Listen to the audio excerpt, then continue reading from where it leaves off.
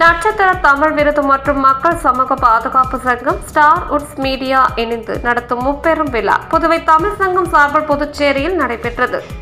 இவ்விழாவில் காஞ்சிபுரம் மாவட்டம் காஞ்சிபுரம் ஊராட்சிக்கு உட்பட்ட கருப்படி தட்டடை ஊராட்சி மன்ற தலைவர் பொன்னா வெங்கடேசன் கருப்படி தட்டை ஊராட்சியில் பொதுமக்களுக்கு பல்வேறு நலப்பணிகள் செய்து சாதனை புரிந்து சிறந்த ஊராட்சி மன்ற தலைவர் என்று தேர்வு செய்யப்பட்டு புதுவை தமிழ் சங்கம் முப்பெரு விழாவில் பதக்கம் மற்றும் விருது பெற்றார். சான்றோர் குரல் செய்திகளுக்காக செய்தியாளர் வெங்கடேசன்.